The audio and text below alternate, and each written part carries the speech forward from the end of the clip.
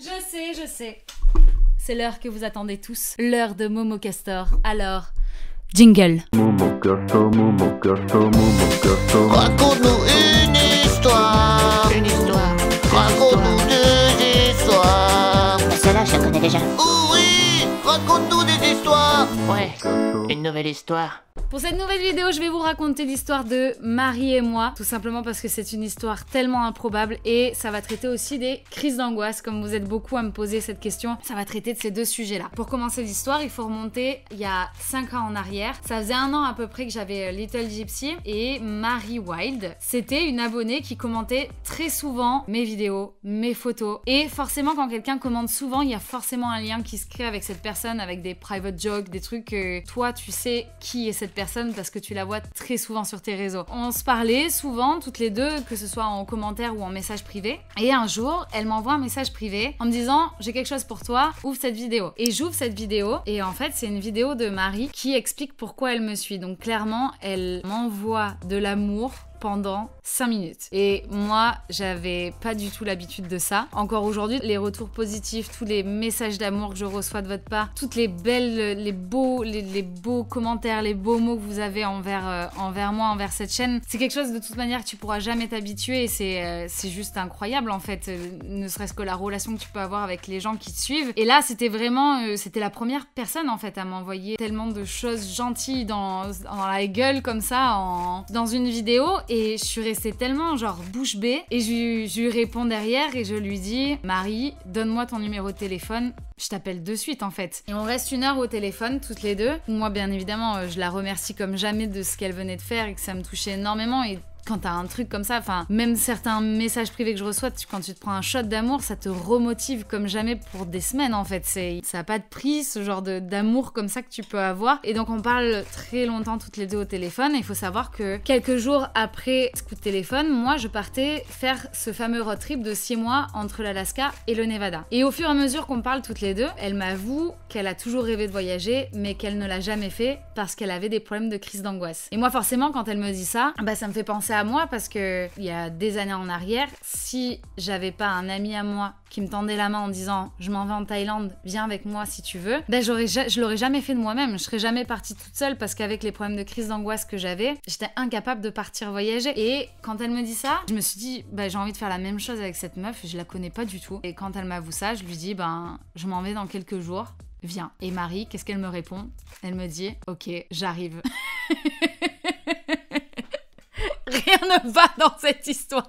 Qui fait ça? Genre, le soir même, Marie m'envoie un message avec son billet d'avion pour Montréal. Trois semaines plus tard, je vais chercher une petite Marie Wild. On ne se connaissait absolument pas, on ne s'était jamais vu. Et moi, j'arrive comme je suis, forcément, une personne joviale, pleine d'énergie. J'arrive en courant, je lui saute dans les bras. Marie, elle était restée comme ça, elle était restée stoïque. Elle bougeait plus, mais parce que la pauvre, elle, elle non plus, elle comprenait pas ce qui lui arrivait. Elle était en train de surmonter sa plus grande peur, qui était de voyager et de gérer ses crises d'angoisse. Du coup, on reste quelques jours à Montréal toutes les deux, on apprend à se connaître. Et c'est super marrant parce qu'on a vraiment deux caractères différents. Moi, je suis quelqu'un qui hurle, qui chante très fort, qui écoute la musique très forte. Marie, c'est pas du tout le cas. On est opposés sur plein de points de caractère et pourtant on se prenait des fous rires. Enfin, c'est très vite, on est devenus très proches et pourtant on était très différentes. Derrière, on part au Yukon pour faire le fameux trek du Magic Bus. Donc déjà, Marie, première fois qu'elle voyage, problème de crise d'angoisse. Et derrière, qu'est-ce que je lui fais faire? Le trek du Magic Bus. Et ça va, hein. j'avais 25 ans à l'époque, ok J'étais une petite merdeuse. Aujourd'hui, Marie, je pense qu'elle le regrette absolument pas. Mais en tout cas, elle est partie avec moi faire le trek du Magic Bus. Et avec Ludoc aussi. Et donc, euh, on fait le trek du Magic Bus, on loupe, tout ça. Et moi, je suis tellement fière de Marie parce que Marie, elle a tout donné, quoi. Elle s'est pas plaint une seule fois. Elle a eu euh, des petites montées d'angoisse avant de faire le trek ou quand on a campé les premières fois. Elle avait mal au dos, du coup, ça commence à la stresser, à se demander si elle allait y arriver et tout ça. Et on l'a tous coaché en mode, mais si, tu vas y arriver, t'inquiète pas et tout. Et elle y est arrivée. Même elle, elle était en train de se rendre compte qu'elle était capable de bien plus que ce qu'elle pensait. Pour moi, je pense sincèrement que quand on a des problèmes d'angoisse ou quand on a des problèmes tout court, mettre un sac sur son dos, partir vers l'inconnu, même en France ou en Europe, hein, c'est une putain de thérapie que les psys vous pourront jamais vous offrir. Jamais, jamais. Et donc, on loupe le Magic Bus, mais on n'a pas pleuré une seule fois. On s'est pas plaint une seule fois. Et Dieu sait qu'on en a chié hein, pendant ce trek. On se prenait des fous rires, on arrivait à toujours positiver. Et forcément, tu crées des liens que tu pourras jamais défaire quand tu commences à vivre des choses comme ça avec une personne. Et ensuite, derrière, on retourne à Whitehorse. Dans la vidéo précédente où je vous raconte l'histoire de Kiano, Anna et Finn, c'est que Marie et moi, on se connaissait pas. Et derrière, on part faire un road trip avec Anna, Kiano et Finn dans, le camping-car. Je me souviens, à un moment donné, j'avais dit à Marie, vis intensément ce qu'on est en train de vivre. Vraiment, je te jure. Parce que même moi, c'est la première fois que ça m'arrive. J'essaie de lui faire comprendre que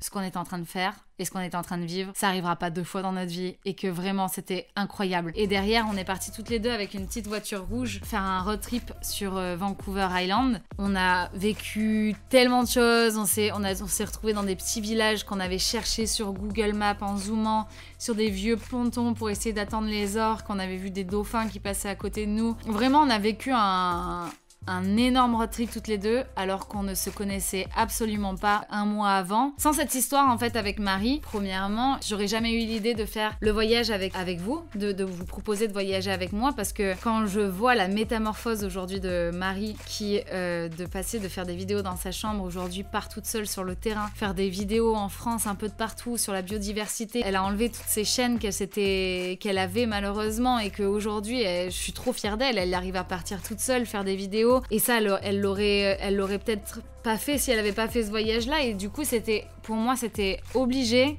leitmotiv c'est ça en fait. C'est d'aider des gens qui oseront jamais le faire et qui ont besoin qu'on leur tende la main. Je vous parle un vrai voyage à l'aventure. Vous avez un sac à dos où vous laissez l'imprévu venir à vous que vous ne prévoyez rien que vous allez alors à la rencontre de l'autre. Je suis persuadée que mais ne serait-ce qu'en 15 jours ça peut littéralement changer votre vie et ça peut énormément vous aider. Aujourd'hui Marie c'est devenu euh, une de mes meilleures amies. On a fait euh, le jour de l'an l'année dernière toutes les deux. Elle a fait partie de We Are the Orca. Et vous savez quoi? On va l'appeler. Allô? Marie, vous êtes filmée. Dis-moi, déjà, pre- première question, parce que j'en ai parlé dans la vidéo, le jour où je suis venue te chercher à la, à la gare de Montréal et que je t'ai fait un énorme câlin en te sautant dessus et que toi t'étais resté sans bouger, à quoi tu pensais à ce moment-là? Oh bah j'ai fait un arrêt cardiaque. Hein. Qu'est-ce que je te dis J'étais tétanisée, meuf. Déjà, j'ai traversé l'Atlantique toute seule, donc j'ai eu le temps de bien stresser pendant des heures. Et après, je, je t'ai vu au loin, j'arrivais avec mon petit bus. Je suis descendue, tu m'as sauté dans les bras, et là, j'ai eu un coup de, de pression, de relâchement, et je sais, bon, ça y est, c'est parti. Qu'est-ce qui t'a apporté ce voyage? Euh, tu veux, je commence par où? En gros, après mon bac, je suis partie faire jeune fille au père en Irlande. Bah, comme tu le sais, ça s'est pas très très bien passé et je suis revenue avec euh, bah, des phobies et plein d'angoisse. Donc sortir de chez moi, tu vois, ou partir en vacances avec mes parents, c'était euh, c'était pas possible, ça me rendait malade. Donc à 18 ans, bah, c'est ça craint un peu quoi. Partir en vacances dans le sud de la France avec ses parents. Faire une dépression quand t'as 16, 17, 18 ans, c'est- c'est un peu compliqué de démarrer dans la vie ensuite. J'ai mis pas mal d'années euh, à m'en remettre. Non, mais c'est bien, ça va Ah ouais. rassurer plein de monde, ça va donner plein d'espoir à beaucoup de monde. J'espère. Croyez en vous. vous verrez que rester en boule dans votre lit en pleurant, ça, ça passera promis. je, je compatis, oui, c'est vrai.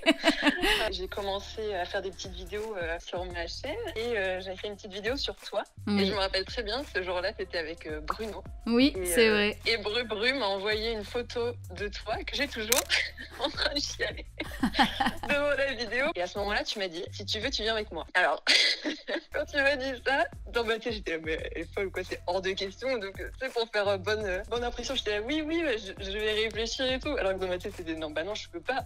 je vais m'évanouir en fait. Et J'avais tellement pas envie de passer à côté de ça. Je disais, putain, il y a une meuf superbe que t'admires qui te propose d'aller en Colombie-Britannique alors que tu baves dessus depuis des années. Franchement, ma fille, t'y vas pas, tu vas le regretter toute ta vie. Pour ma famille, mes amis, c'était la même réaction parce que moi, je partais pas en vacances avec mes parents. Et du jour au lendemain, je leur dis, bah, je vais traverser l'Atlantique, rencontrer une fille que je connais pas et faire un road trip et j'ai pas de billet de retour.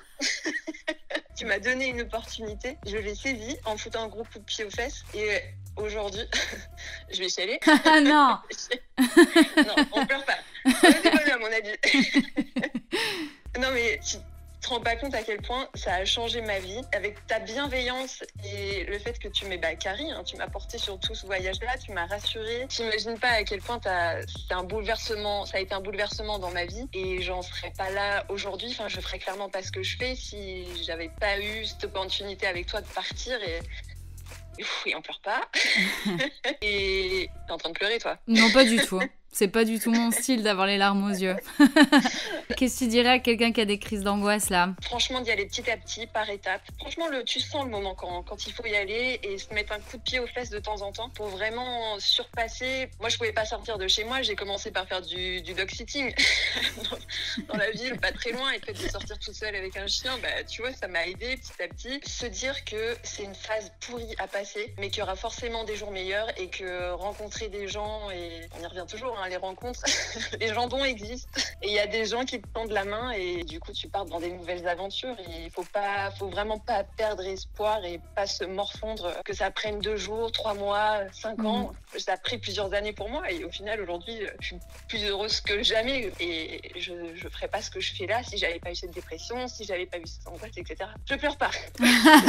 Battez-vous et allez vers les autres. Il y a plein de gens Oui. qui vous tendront la main. Et ça peut être juste un message de regarder des vidéos positives, de parler avec quelqu'un, de changer d'horizon, changer de personne et de se recréer un, un rythme de vie, un- une boucle dynamique en fait. Et Mhm. petit à petit, t'es emporté dedans et t'en sors. C'est simple à dire, c'est facile et on peut se dire que oui, bah, c'est que des mots et tout, mais on est tellement plein à, à vivre ce genre de choses. Et... Oh.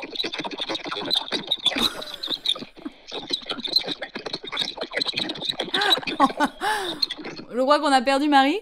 Allô Ça a coupé Oui, un petit peu en tension. Oh non Non, mais c'est bon. C'était beau ce que je disais putain T'as été brouillé comme jamais là. Vous vous êtes arrêté à où? Ah bonjour C'était cliché de dire qu'il fallait laisser euh, du temps au temps, mais que et qu'on y arrivait euh, tous à, à s'en sortir, quoi. Oui. En gros. Merci beaucoup Marie Wild. C'était un, pla- Bah, c'était un plaisir de, de parler avec vous. Je vous embrasse.